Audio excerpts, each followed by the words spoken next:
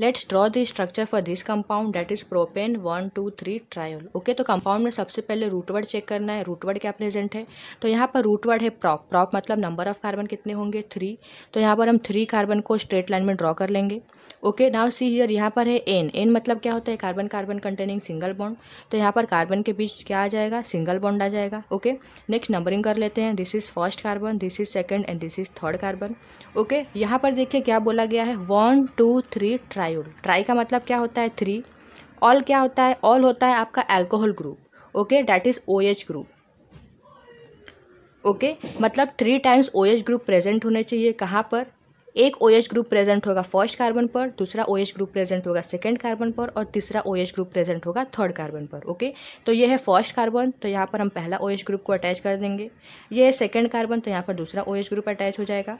ये है third carbon तो यहाँ पर तीसरा ओ एच ग्रुप अटैच कर देंगे। ओके देन कार्बन की वैलेंसी को कंप्लीट कर लेते हैं।